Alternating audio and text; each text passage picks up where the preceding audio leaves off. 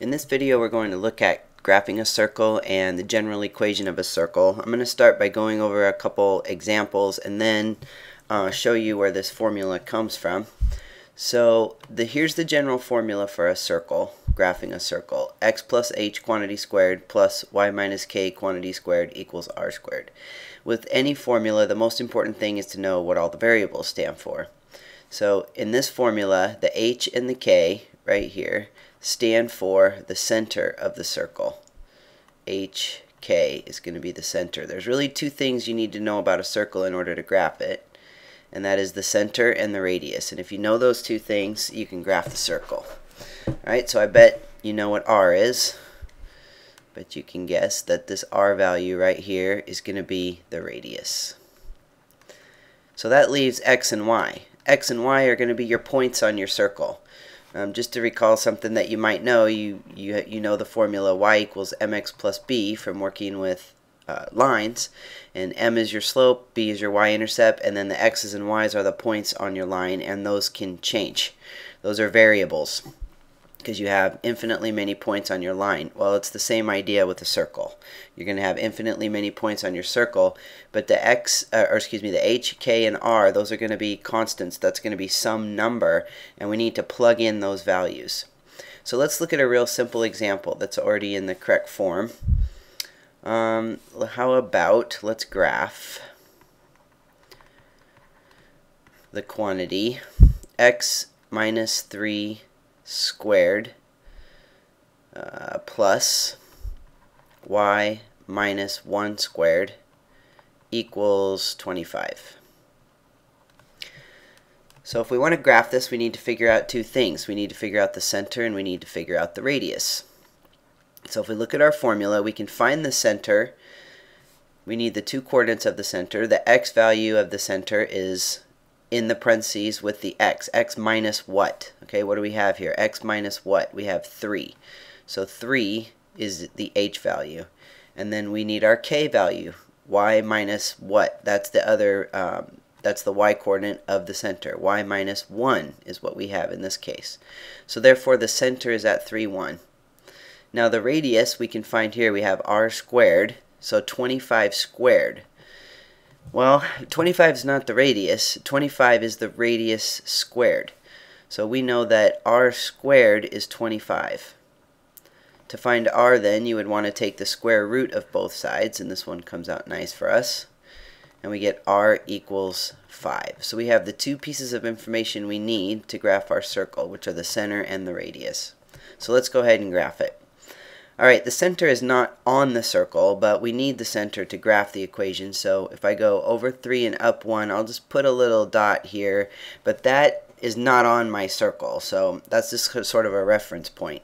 I'll do the actual graph in purple, a different color. So from the center, we know it has a radius of 5. That means my circle is going to go up 5. 1, 2, 3, 4, 5. Down 5. 1, 2, 3, 4, 5 right 5, and left 5. Now if I had a compass, I could set my compass point in the center, measure out the radius of 5, and then draw the rest of this really nice. I'm kind of, let's see how this turns out. Just sort of fudging this. That's not bad. Pretty happy with that. I had a little dent up here, but that's the idea. So there you go. That's your circle. So your x's and y's are just all these points on the circle. Any point that lies on the circle would make this equation true. And it's a little tougher to test because there's a lot of fractions and stuff going on in there. Um, a lot of decimals. You might be able to find a spot where it looks like it crosses at uh, at some integers like 6, negative 3. That looks like a possibility who knows? It's probably not exactly 6, negative 3, but you could plug it in and see if it comes out close to 25. That's the idea. You don't have to do that. If you're just asked to graph the circle, this you're done. You find the center, you find the radius, you plot your center, you use your radius to go up, down, left, right, and then you sort of sketch in the rest of it, and that's all there is to it. Let's look at one more example. that might have something a little different in it. Let's bring in another graph here. Okay, let's do, um, the quantity x plus 4 squared plus y squared equals 8. Okay, so if I want to figure out the center, I need to think about this form right here. Actually, let's write this form right below it. Well, let's write it above it. I got x minus h quantity squared plus y minus k quantity squared equals r squared. Alright, x minus h. Well, this says plus. So I have to figure out x plus 4 is the same as x minus what? Hopefully you are saying x minus negative 4. I'm going to do that in a different color just to really emphasize that. So plus 4 is the same as minus a negative 4, and since the formula has a minus in it, I have to think of this as a minus to get my h value. Since the formula has a minus in it, your h value is basically going to be the opposite of whatever this is. If this is a plus 4, then your h value is negative 4. If this was a minus 4, your h value would be positive 4. You could think of it that way as well. Now, on my y, it's supposed to be y subtract something. Well, it's not y subtract anything. Well, that's exactly right. It is y subtract nothing. So your k value is 0. Okay, so there's our center. I'll jot that down right now. Our center is at negative 4, 0. Now we got to figure out the radius. Well, we have an 8 here in this r squared spot. So, in order to figure out the radius, we know that r squared is 8. R squared is 8. So I have to take the square root, and what is the square root of 8? Well, it's not nice. It's some irrational number.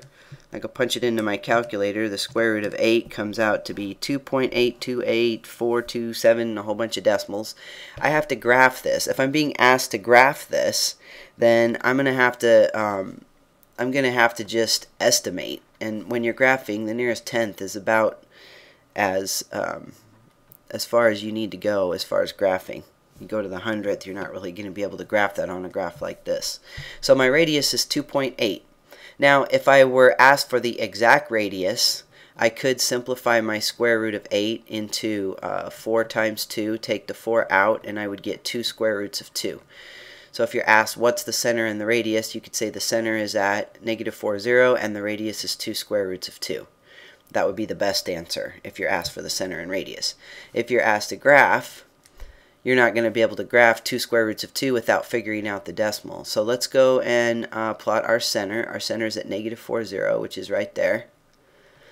Okay, then my radius is about 2.8. So all I can do is estimate. I'm going to go up 2.8, so not quite 3, down 2.8, and right 2.8. Just to put me about right there, and left 2.8 about right there. And that kind of gives me the outline of my circle. And then if I want to be super precise I'll get a compass. Oops I went a little otherwise I could just kind of sketch in my circle like that. Alright, and there you have it. There's your circle so that's the basic idea. You want to get it in this form. Uh, in the next video, I'm going to look at some examples where we have to work a little bit harder to get the circle into this form in order to figure out the center and the radius. But before I do that, I want to take a look at um, where this formula came from. So these examples are just, you know, the concrete examples. But why does this formula work? x minus h quantity squared plus y minus k quantity squared equals r squared. Well, let's look at a general um, picture of a circle. We know that hk is our center, and the radius is r, and xy represent the points on the circle. Now let's see if you remember this formula right here. This is the distance formula.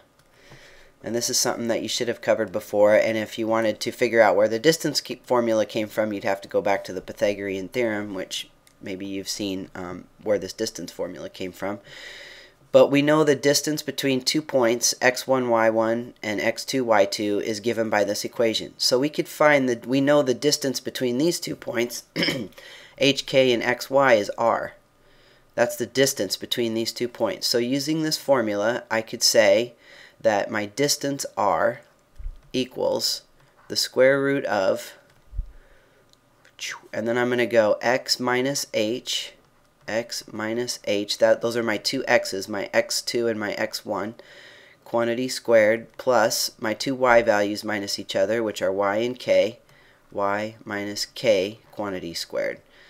Alright, now all I have to do is square both sides. If I take this and square both sides, on the right hand side I end up with r squared. And on the left hand side, the big old square root and the squared cancel each other out, and I'm left with x minus h quantity squared plus y minus k quantity squared and that equals r squared and that's my formula for the equation of a circle. So this formula for equation of a circle is utilizing the definition of a circle which is the set of all points equidistant from a given point. Equidistant being the key word there we can use the distance formula to come up with the equation of a circle. Now you don't have to know that in order to use the equation of a circle to graph it, but understanding where formulas come from in math and how they build on each other can really help you um, deepen your understanding of what's going on. So look for the next video on um, completing the square in order to get circle equations into this form so we can more easily graph them.